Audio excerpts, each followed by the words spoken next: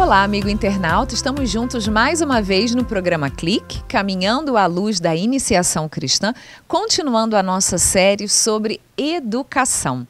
É, continua aqui conosco a Vandeia Ramos, que é professora da Escola Mater Ecclesi. E, Vandeia, é, você também trabalha com o ensino religioso, né? É, a gente queria que você falasse um pouquinho, talvez ainda fique alguma dúvida. Ensino religioso e catequese é a mesma coisa? Quando a gente pensava educação relacionada à escola católica, onde nós tínhamos uma família é, mais sólida, menos fluida, a gente poderia pensar até mesmo nos documentos da igreja uma associação entre ensino religioso e catequese. Mas pela complexidade que nossa sociedade vive hoje, é, das várias situações que a família passa, a igreja vai amadurecendo, considerando o processo educativo de um modo mais amplo e vai diferenciando o ensino religioso de catequese. Então, como nós entendemos isso hoje? A catequese pressupõe uma adesão pessoal a Jesus Cristo. E aí vai se formar na doutrina católica para melhor viver a fé de uma vida mais consciente enquanto filho de Deus. O ensino religioso é algo caracteristicamente escolar.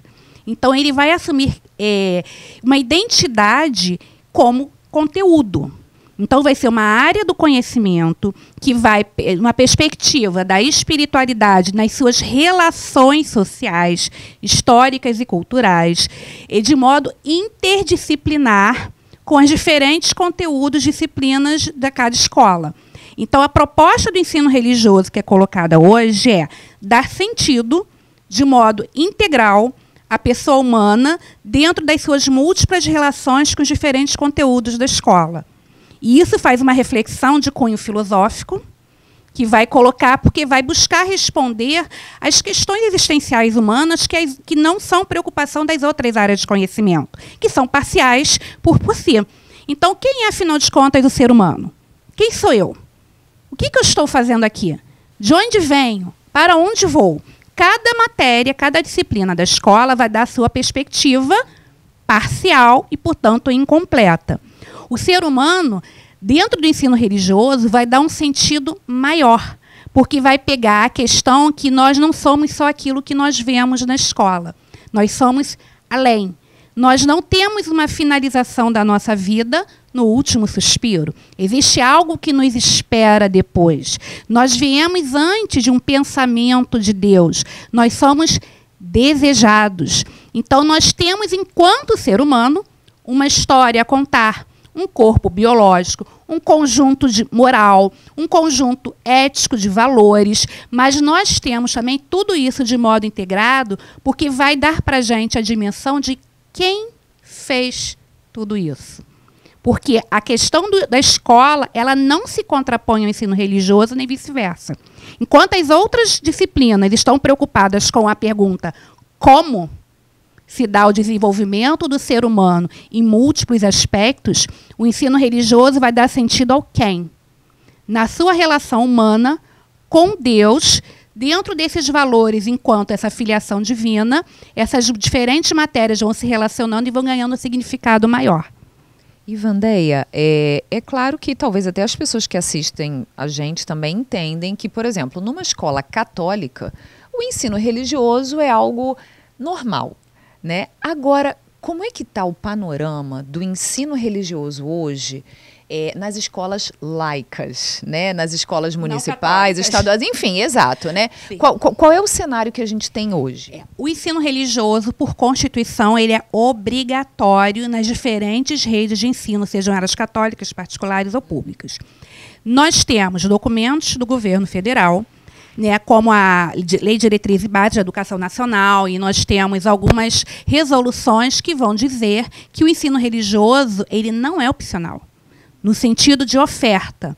Ele é uma área do conhecimento e que cabe à família fazer a escolha ou não, com a possibilidade de ser confessional. Então, dependendo da linha que o ensino religioso siga, né, num caráter fenomenológico confessional ou um outro conhecimento, ele vai acontecer de diferentes formas nas redes.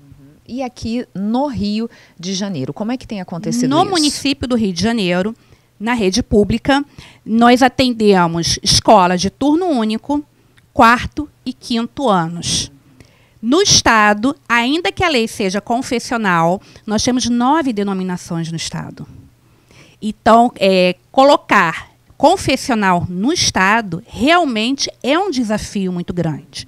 No município, como nós trabalhamos com crianças, somente três denominações acharam interessante fazer essa distinção na hora de escolher, que é o ensino religioso católico, o evangélico protestante e de matriz afro, até para respeitar a faixa etária com que a gente trabalha. O responsável escolhe se quer e qual desses grupos o seu filho vai ter a aula.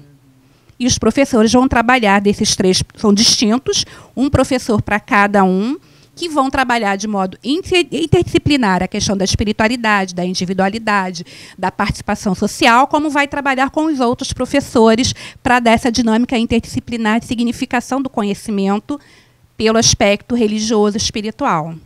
Muito interessante. Vamos é, rogar então a Deus que inspire os nossos governantes, os legisladores, para que a gente possa ter esse acesso ampliado, até para ter uma garantia do que a Constituição pede, não é? E para é, na, na, questão mais humana, né, que você falou tanto de nós nos descobrirmos enquanto ser humanos, né, aqueles questionamentos mais profundos que todo ser humano tem, né, que a educação possa nos ajudar nesse sentido também. Muito obrigada, Vandeia, pela sua presença e a gente espera que você também tenha gostado. Até o próximo programa. Clique.